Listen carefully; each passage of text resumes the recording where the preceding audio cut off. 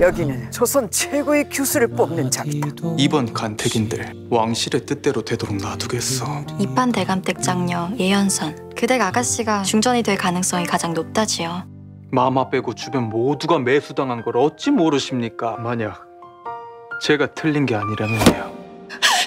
만일의 경우를 대비해서 한 가지 수를 더 두어야 한다. 난 지금까지 피하기만 했어. 이제 더 이상은 안 되겠다. 제가 바로 진짜 예언선입니다. 난 아직 그대를